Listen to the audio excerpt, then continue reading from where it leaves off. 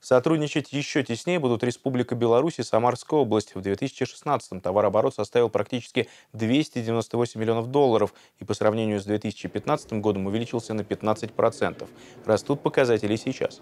Губернатор Самарской области и чрезвычайный полномочный посол Республики в России договорились расширить контакты. Речь идет о поставках пассажирской техники, в том числе чемпионату мира по футболу, о взаимодействии в сельском хозяйстве и промышленности.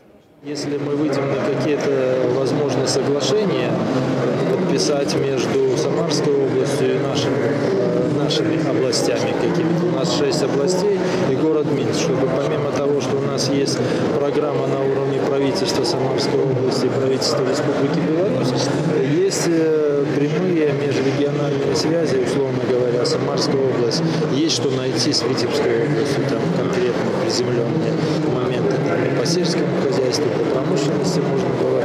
По Гомельской области у нас там Гомсельмаш предприятие располагается, это производство зерноуборочных комбайнов. Посмотрите, что, какие производства можно было бы предложить в Тольятти.